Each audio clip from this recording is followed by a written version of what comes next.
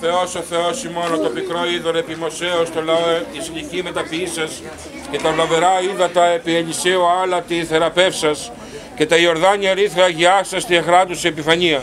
Αυτός και νυν δέσποτα αγίασον το είδωρ τούτο, τη ενεργία και επιθυτής του Αγίου σου Πνεύματος και ποιήσον αυτό γενέστε πάσης αριωμένης και της μεταλαμβάνουσιν εξ αυτού ευλογίας. Υγιεινή ιατρίαν παθών, αγιασμών οίκων, πάση επιβολή ορατών, ορατώστη και οράτου αλεξιτήριων. Ότι σών το κράτος και σου εστίν η βασιλεία και η δύναμη και η δόξα του Πατρός και του Υιού και του Αγίου Πνεύματος και η ύψωνος των αιώνων. Ειρήνη.